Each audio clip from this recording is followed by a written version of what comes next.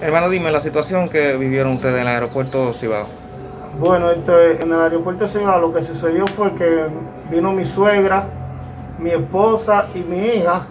Entonces ellos, un ejemplo, nadie tiene acceso a recoger los pasajeros en el frente y los maleteros le dijeron a ellos que tenían que ir para adentro. Entonces lo que ellos dejaron a mi esposa y mi suegra y mi hija con ocho maletas a que bajaran para, para abajo, para el parqueo, porque nadie tiene acceso a montar personas en el frente. ¿Qué pasa? Que donde tú vas a donde tú tienes el acceso de subir las maletas, ahí no hay cámara porque la cámara está arriba y el carro tú está abajo, entonces no tiene acceso a la cámara.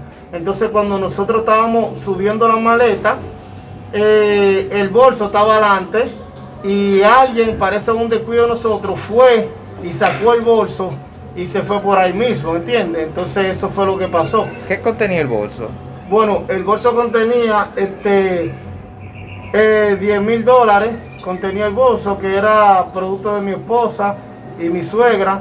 También tenía aproximadamente 12 mil dólares en prendas, tenía lentes, tenía toda la tarjeta de crédito de, mi suegra y su cédula también. Estamos hablando que esto es dentro del parqueo del aeropuerto Cibao. Dentro del parqueo del aeropuerto Cibao. Ahora bien, yo mi pregunta es, ¿cómo es el que viene no le dan acceso para que monte su maleta desde que sale de, desde que sale de, de aduana? Y entonces los que se van tienen acceso a dejarlo frente al aeropuerto.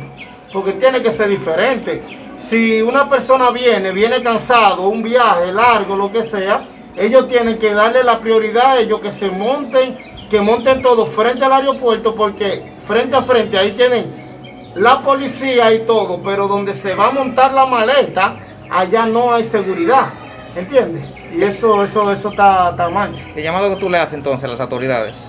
Bueno, el llamado que yo le doy a, a las autoridades, que tengan mejor ética de trabajo, que tenga mejor conciencia con los viajeros, porque nosotros somos los que eh, soportamos el país un poco, ¿entiendes? Entonces tienen, que tener, mejor ética y tienen que tener más seguridad en, eh, el área donde los viajeros van a, montar su maleta en el carro, porque todo, todo ladrón que vaya es a buscar a los viajeros, no a los que se van, ¿entiendes?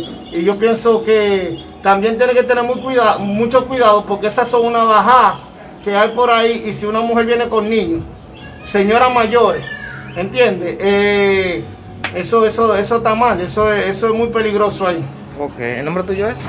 Eh, Teuris Olivares. ¿Tú eres pelotero? No, es pelotero, trabajo ahora con los llanos. Muchísimas gracias.